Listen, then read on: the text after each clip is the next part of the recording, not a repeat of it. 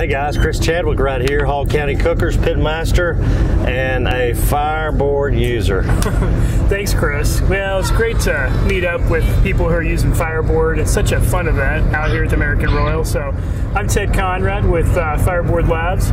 And uh, yeah, Chris and I are out here. We thought we'd just sit down, honestly, just have a, a little chat about kind of what you're, what you've been doing. You sure. Know, you've been around in the barbecue circuit for a while. Sure. So tell us a little bit about how many years you've been doing this and how's, well, how's it going? Well, Ted, I tell you what, I've been cooking since I was a kid. Uh-huh. Uh, we've been uh, burning. We've been burning a lot of wood. You know, we've cooked a long time.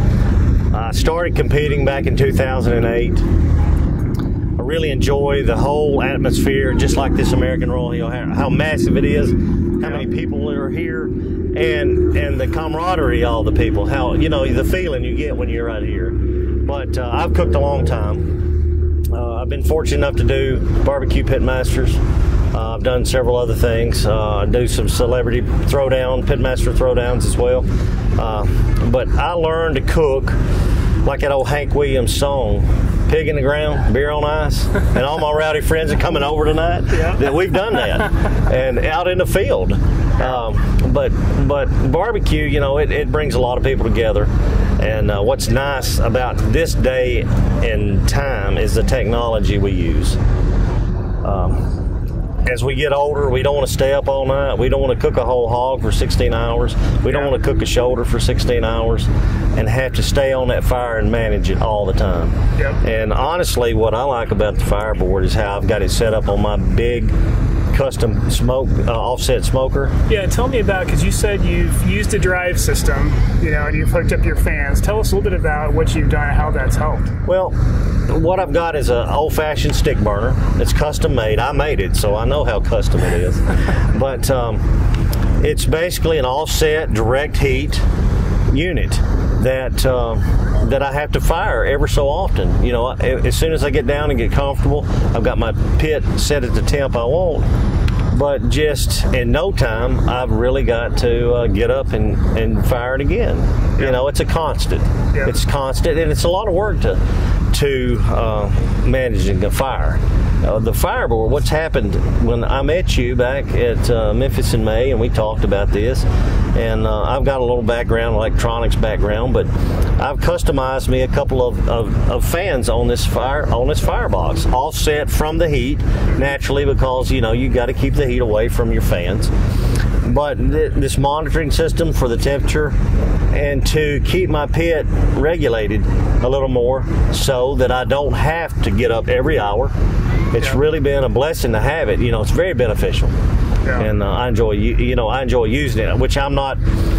I'm still really a newbie because I've never used this technology on one that I'm I'm tweaking and I'm customizing. You know, and I might increase my fan, use the depth of you know my brackets for my fan, my wind force, because you know the fans are only going to do so much. They're going to come on, kick on and off. See yeah. how much pressure you've got running to your heat, to yeah. your fire, to keep those coals, which I use Royal Oak charcoal, uh, fantastic lump charcoal, and I use hickory slabs okay. uh, to supplement the Royal Oak.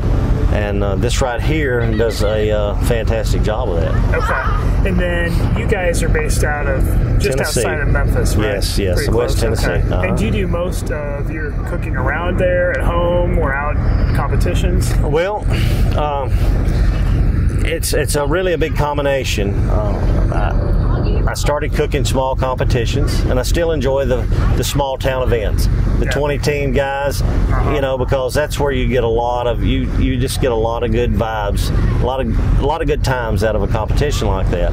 Uh, we do. I'm fortunate enough to go do travel and do some bigger stuff and and cook a lot of larger areas, but uh, I enjoy the small hometown events. Uh, I was in Martin, Tennessee just last weekend cooking a Tyson event, Tyson Chicken, Tyson. Uh, they held the event, and we went down and, and did some uh, did the competition and really enjoyed it. Yep. Uh, they had Foreigner there in 38 Special, so that was a big time.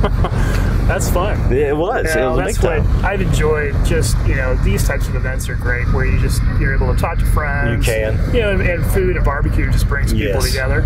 Yes. Um, so it's been fun for us to build this business and this industry where you know people are relaxed, people Yes. are having fun, and the door's I- open, Yeah. and you've got a whole wide you've got a whole wide community there to uh, to explore. You know, Yep. to introduce your product to, and that's why I recommend it because I really enjoy it, and it helps me, especially when I would do when I really get down and do my great grassroots cooking.